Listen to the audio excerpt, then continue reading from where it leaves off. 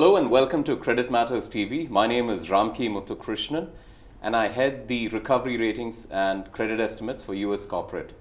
The year 2017 was a big one for US CLOs, both on the broadly syndicated front as well as the middle market CLOs.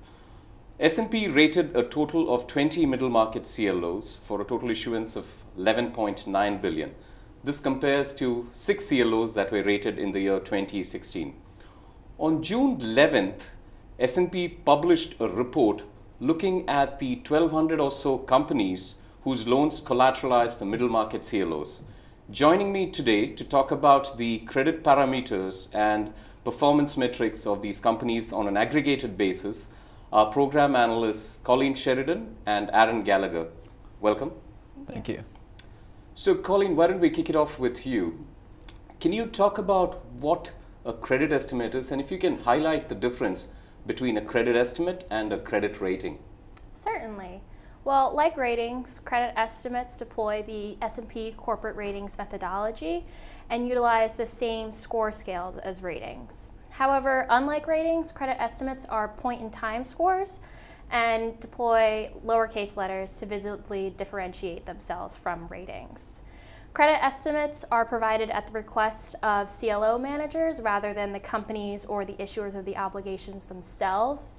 Credit estimates are generated for non-rated issuers, typically for the purpose of including those non-rated loans in rated CLOs.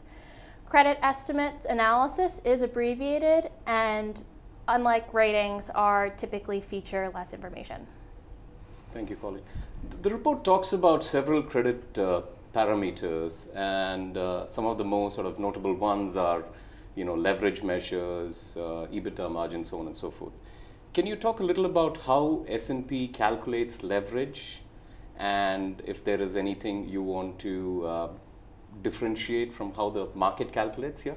Certainly. So oftentimes our debt calculations and our EBITDA calculations will differ from the company reported calculations. And that's just due to adjustments that we make to improve comparability between estimates. And we similarly make those adjustments in our corporate ratings uh, analysis.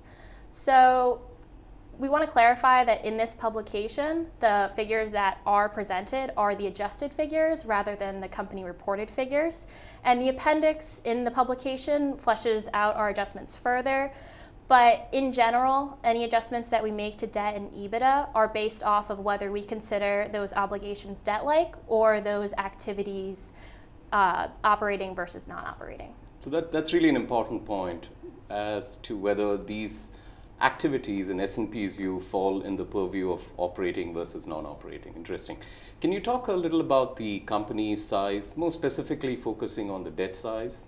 Certainly. So for the year of 2017, for the companies that we completed estimates on, debt ranged from 7.3 million to 1.5 billion. So within that range, the median was 157 million and the mean was 198 million. In the publication, we decided to use the median figures due to the expansive difference between mean and median of around 40 million, and just to give a more holistic view of the middle market and limit any distortions in differences in deal size. That makes sense. Aren, can you talk a little about the trends that we observed over the year for the companies on which we did credit estimates, especially focusing on leverage and coverage trends? Yes, well, consistent with the larger leverage finance market, we saw an increase in leverage ratios as we did in our review of credit estimates completed in 2017. We saw an increase in leverage ratios in the second half of the year as EBITDA levels and margins declined. Furthermore, coverage levels have remained relatively high due to low interest rates. And with recent interest rate hikes and the expected hikes in 2018, we expect coverage levels to decrease in 2018, thereby putting further pressure on companies whose coverage levels are already weak. So, so certainly the increase in leverage and, uh, and the reduction in coverage on account of uh, increase in interest rates is putting pressure on some companies and their operating performance. Can, can you talk a little about the credit estimates that were downgraded in 2017, uh, Aren, and give us the numbers? Yes, of the companies we issued credit estimates for in 2017, which was around 1,200, over 50 were downgraded over the course of the year, and of those, 15 were defaults.